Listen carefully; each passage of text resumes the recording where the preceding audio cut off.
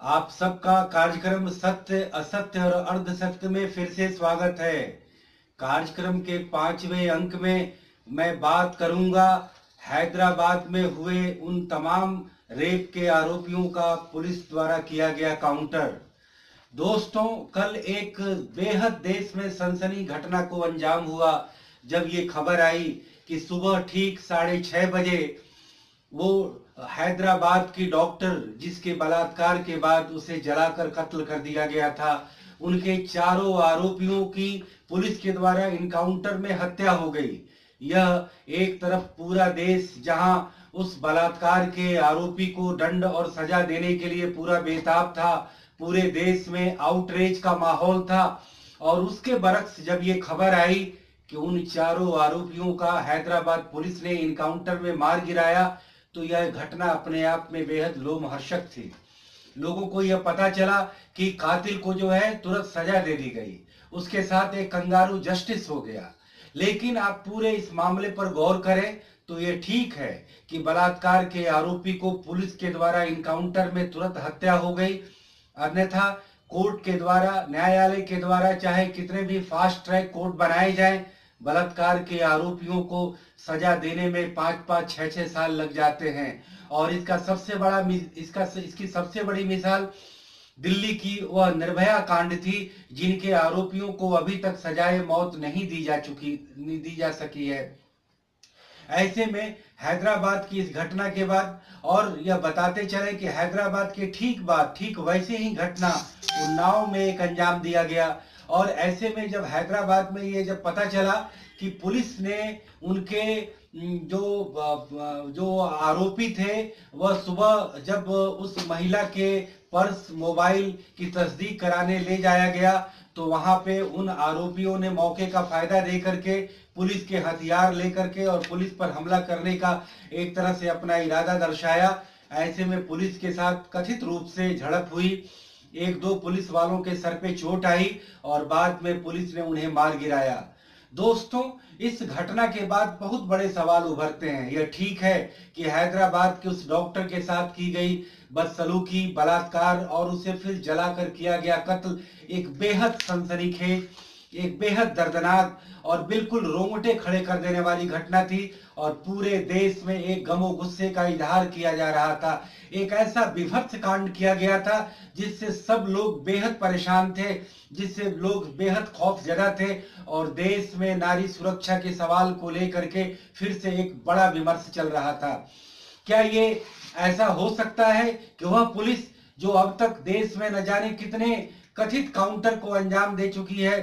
कथित कई police encounter में हत्या के नमूने और एग्ज़ाम्पल जो है हमारे सामने आ चुके हैं। ज़्यादातर में यह पाया गया कि पुलिस ने या तो अपनी व्यक्तिगत रंजिश में या अपने गुस्से को संतुलन में नहीं बैठा पाने में या फिर कोर्ट के तमाम चक्कर और सबूतों को सत्यापित करने की आपाधापी से बचने के लिए अपराधियों को काउंटर में हत्या कर देती है, जो कानूनी रूप से और मानवाधिकार रूप से बेहद गलत है। क्या ऐसे में हैदराबाद की यह घटना जिसका कई लोगों ने स्वागत किया है और समाज के तमाम क्षेत्रों में इस पर जो है एक तरह से एक तरह से खुशी का इजहार किया गया है। परंतु एक जो दूसरा जो सबसे बड़ा सवाल जो उभर कर आता है कि ये कातिल कौन थे? ये बलात्कारी कौन थे? वह कोई बहुत बड़े समाज के रसूख वाले व्यक्ति नहीं थे। ये सब 19, 20 और 21 के टीनेजर और नौजवान उस पृष्ठभूमि के लोग थे, या तो जिनकी पूरी पढ़ाई नहीं हुई, या वो अच्छे परिवार के संस्कार नहीं पा सके, या उनका ऐसा सोशल अपब्रिंगिंग और उनकी फैमिली अपब्रिंगिंग इस तरीके की नहीं थी, या उनमें एक तरह से कहीं ना कहीं ना समझी थी, या कहीं ना कहीं उनमें एक अपराध का एक ऐसा इंस्टेंट था, जिसके ज़रिए उन्होंने सबसे पहले बलात्कार किया और फिर उस बात उस आ, आ, महिला डॉक्टर को मौत के घाट उतारा और फिर उसे जला दिया। कहीं न कहीं उनकी नासमझी कहीं न कहीं उनकी आपराधिक प्रवृत्ति जो एक तरह से इमेच्योर थी जो अपरिपक्व थी और जो उन्हें इस तरीके का बहसी अपराधी बनाने के लिए बाध्य कर चुकी थी या वो बन चुके थे या उन्हें कोई ऐसे उनके पीछे कोई ताकत थी जो हो सकता है उन्हें किसी बदले की भावना से उनका यूटिलाइज की हो, उनका यूज़ की हो, या जिस भी वजह से एक आक्रोश में, एक सजा के भय से उन्होंने उस पीड़िता की जो हत्या की, जलाकर उसे जो मार डाला, क्या वो सचमुच समाज के सबसे संगीन अपराधी हैं? क्या वो समाज के वैसे रसूख वाले व्यक्ति हैं जो देश में करोड़ों अरबों के घोटाले करते हैं? क्या वे ऐसे अपराध करते हैं जिस अपराध की वजह से न जाने कितने लोगों को हत्या कर लेनी पड़ती है, कितने लोगों को आत्महत्या कर लेनी पड़ती है, या कितने लोगों को मरने के लिए मजबूर होना पड़ता है। दोस्तों, इस तरीके की घटनाएँ हमारे समाज में और देश में काफ़ी घटती हैं। जब कोई गलत निर्माण होता है, निर्माण ढह जाते हैं, उसके तहत कई मजदूर जो है मर जाते हैं। ऐसी कई घटना होती है कि जब बहुत बड़ा कोई आरोपी एक इकोनॉमिक ऑफेंस करता है या कोई स्कीम लेकर के आता है और पैसे लेके फरार हो जाता है, और उस स्कीम में इन्वेस्टमेंट करने वाले लोग, जिनकी पूरी ज़िंदगी लुट जाती है, पूरी रकम जो है, उनकी पूरी कमाई लुट जाती है, और वो आत्महत्या पर मजबूर हो जाते हैं। ऐसी कितनी घटनाएँ देश में घटती हैं। नॉन बैंकिंग कंपनी जो फाइनेंशियल कंपनी जो हाउसिंग फाइनेंस हो, उसमें निवेश करने वाले लोग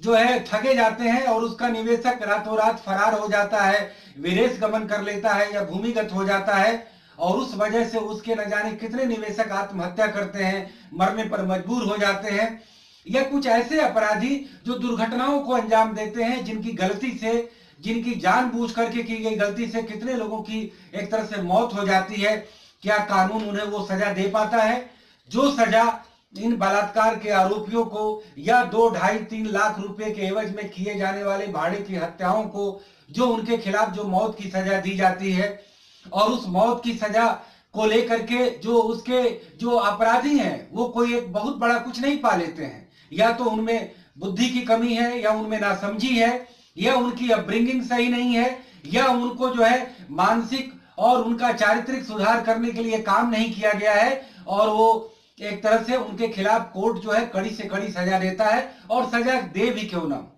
इसे हमें कोई आपत्ति नहीं है। लेकिन आपत्ति इस बात की है कि जिस तरीके के अपराध करने वाले लोग, ज़्यादातर लोग जो अनपढ़ होते हैं, कम पढ़े लिखे होते हैं, जिनकी सोशल और ह्यूमन अपब्रिंगिंग अच्छी नहीं होती, जिनकी फैमिली बैकग्राउंड अच्छे नहीं होते और कहीं ना कहीं शिक्षा के अभाव में, संस्कार के अभाव में, परिवेश के अभाव में वो इस तरीके से एक तरह से प्रवर्टेड हो जाते हैं और इस तरीके के दुर्घटना इस तरीके की घटनाओं को और इस तरीके के अपराध को और इस तरीके के वारदात को जन्म देते हैं और न्यायालय में इसके लिए वो सजा का प्रावधान होता है। यह ठीक है कि इस तरीके की सजा देने में भी कानून की लंबी प्रक्रिया चलती है और चार साल से लेकर के बारह साल और पंद्रह साल तक लग गए हैं। ऐसे कई बलात्कार के आरोपी हैं, जिन्होंने पंद्रह पंद्रह साल के बाद सजा पाई है। परंतु अभी अभी जो ये हैदराबाद में घटना हुई, यह ठीक है कि पुलिस ने अभी तत्काल रॉबिन हुड का एक तरह से तगमा पा लिया। पुलिस ने एक तरह से कई लोगों की वाहवाही ले ली, लेकिन पुलिस का चरित्र भी खुद जो है, वो दमन और अत्याचार करने वाला होता है। पुलिस खुद भी एक वैध अपराधी के रूप में अपने आप को साबित करती है। पुलिस खुद भी जो है, वो कानून का सबसे बड़ी वायोलेटर होती है। पुलिस खुद भी कई मामलों में बलात्कार की भी आरोपी पाई गई है। तो ऐसे में हैदराबाद की पुलिस के द्वारा यह किया गया कंगारू जस्टिस कई सवालों को जन्म देता है। यह ठीक है कि बलात्कार की इतनी बड़ी विभत्स और लोमहर्षक घटना को अंजाम दिया गया और उसके लिए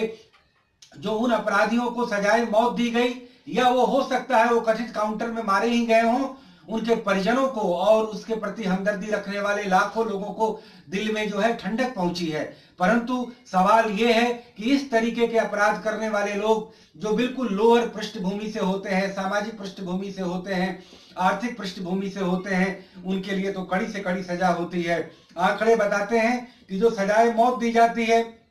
उनमें से पिछहत्तर प्रतिशत सजाधारक या तो वो छोटी पिछड़ी जातियों के होते हैं गाँव और अर्ध शहरी कस्बे के होते हैं, अशिक्षित, अनजान, गंवार या भाड़े के लोग होते हैं। लेकिन जो हमारे समाज का जो बड़ा अपराधी है, जो करोड़ों अरबों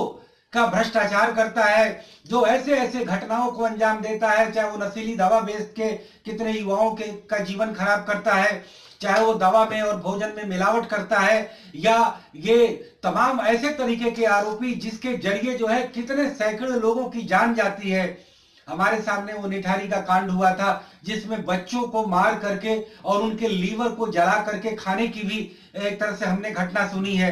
आज तक उसके अपराधी को सजाए मौत नहीं दी जा सकी है। सवाल ये नहीं है कि जो घटनाएँ जो है, रिपोर्ट होती हैं, मीडिया की सुर्खियाँ बनती हैं या लोगों के नज़रों के से गुजरती हैं, सवाल ऐसे हैं कि कई सारी घटनाएँ, कई सारे अपराध जो समाज में घटित होती हैं और हम लोगों को पता तक नहीं चलता। उन घटनाओं को दबा दिया जाता है पुलिस की मिली भगत से, समाज की मिली भगत से, समाज के रसूख से, और उनका वारा न्यारा कर दिया जाता है। तो हमारा समाज अपराध मुक्त हो, हमारा समाज समझदारी, शिक्षित, ज्ञान, संस्कार से परिपूर्ण हो, जिसमें सब लोगों के लिए आदर हो, जिसमें गरीबों के लिए आदर हो, जिसमें पिछड़े और गरीब जातियों के लिए आदर का भाव हो, जिसमें तिरस्कृत, मानसिक और विकलांग और एक तरह से विक्षिप्त व्यक्तियों के लिए आदर का भाव हो, ऐसे में कहीं न कहीं वह व्यक्ति जो किन वजहों से और किस आपराधिक मनोविज्ञान से उस अपराध को अंजाम देता है, कहीं न कहीं ये वक्त आ गया है कि पूरा समाज उस पर एक गंभीर विचार मंथन करे, पूरा देश और उसकी कानूनी प्रक्रिया और ये क्रिमिनल जुरिस्प्रूडेंस सिस्टम और ये पूरा हमारा जो अपराध मनोविज्ञान और अपराध विज्ञान फॉरेंसिक साइंस से लेकर के तमाम चीज़ें जो है, उसमें क्रांतिकारी परिवर्तन आए देश में अपराध करने वाले लोगों का एक तरह से आगमन ही ना हो, जिससे कि पुलिस और न्यायालय की जो है, लंबी प्रक्रिया चले। क्योंकि हमें ये देखना पड़ेगा कि समाज का असल अपराधी कौन है, समाज का वास्तविक अपराधी कौन है। और बलात्कार अपने आप में ही हमारे देश की एक बहुत बड़ी समाज विज्ञानी समस्या हो गई है, जिसके एक नहीं, अनेकानेक पहलू हैं। और उन सारे पहलुओं पर जब तक हम ईमानदारी से बिल्कुल निष्पक्षता के साथ और बिल्कुल सत्यता के साथ और वस्तुनिष्ठता के साथ जब तक हम मंथन नहीं करेंगे, तब तक हम इसको जो है फंडामेंटली जो है दूर नहीं कर पाएँगे और इसको दूर करने का हमें वो उपाय करना पड़ेगा जो सर्वग्राह्य हो, जो एक तरह से सर्व स्वीकार्य हो और तब जाकर के हम इस देश को एक नया मैसेज दे सकते हैं।